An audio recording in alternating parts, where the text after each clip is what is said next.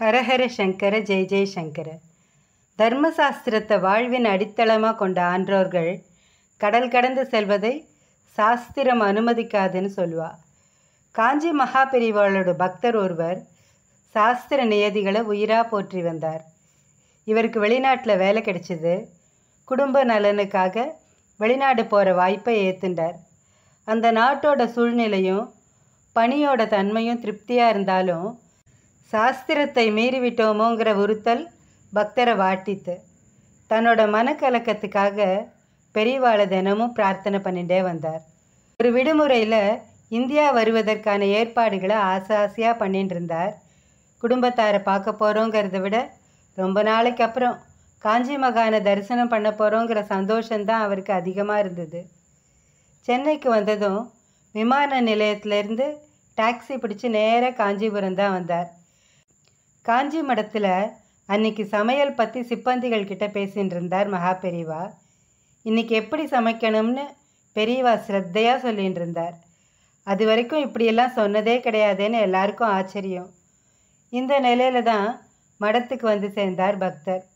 மகா பெரியவாளை பார்த்ததும் நெடுஞ்சான் கிடையா விழுந்து வணங்கினார். அவருக்கு ஆசீர்வாதம் பண்ணின பெரியவா சிப்பந்திகளை கூப்பிட்டு இவருக்கு உடனே ஆகாரம் பண்ணி வைங்கோன்னார். வந்ததும் வராததுமா? அந்த பக்தரை ஏன் சாப்பிட அழைச்சிட்டு போக சொல்கிறாருன்னு ஊழியர்களுக்கெல்லாம் புரியல. வயறார சாப்பிட்ட அந்த பக்தர் மகா பெரியவாளுக்கு எதிரே வந்து நின்னார். அவரை உத்து பார்த்த பெரியவா கருணையும் கரிசனமும் பொங்க என்ன உன்னோட விரதம் பூர்த்தி ஆயிடுத்தா? அப்படின்னு கேட்டார். அதை கேட்டு வியந்து நின்றார் பக்தர்.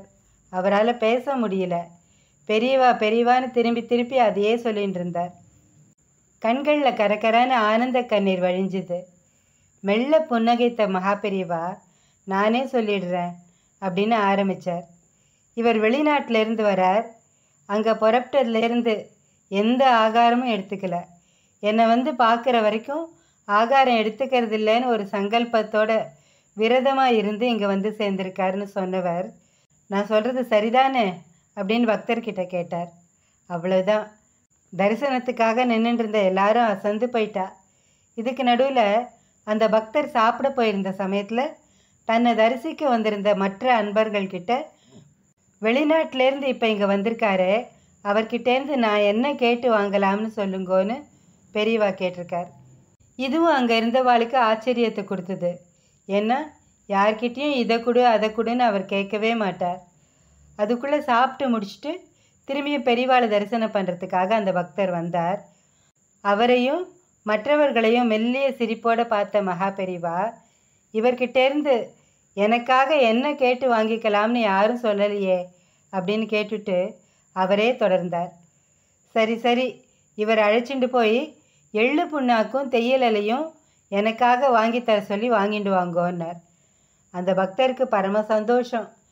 இந்த பக்தர் என் மேலே ரொம்ப பக்தியாக அபிமானமாக இருக்கார். என்கிட்ட இருக்கிற பிரியத்தினால எனக்கு எதையாவது சமர்ப்பிக்கணும்னு ரொம்ப ஆசைப்படுறார்.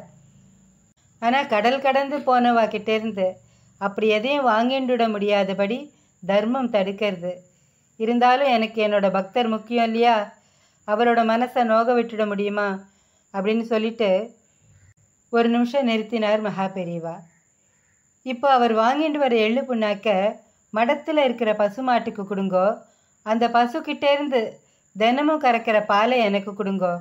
நான் சந்தோஷமாக ஏற்றுக்கிறேன் ஏன்னா இப்போ அவர் கொடுத்த புண்ணாக்க பசுமாடு சாப்பிட்டு அது கொடுக்குற பாலில் அந்த தோஷம் எல்லாம் போயிடுறதுன்னு பசுமாட்டு வழியாக வந்தால் எல்லா விதமான தோஷமும் நிவர்த்தி ஆகிடும் அதனால் அவர் மனசில் நினச்சபடி எனக்கு கொடுத்த மாதிரியும் ஆச்சு. அதை நான் ஏற்றுண்ட மாதிரியும் ஆச்சு இல்லையா? அப்படின்னு விளக்கமாக சொன்னார். இப்படி தர்மத்துக்கும் குந்தகம் இல்லாமல் தன் மீது அபிமானமும் பக்தியும் செலுத்தும் பக்தர் மனம் ஆனந்தப்படும்படி செயல்பட்ட கருணை மகா பெரிவாளை தவிர வேறு யாருக்கு இருக்கும்? மகா பெரிவாளின் திருவடிகளே சரணம். ஹரஹர சங்கர ஜெய ஜெய சங்கர. காஞ்சி சங்கர காமகோட்டி சங்கர.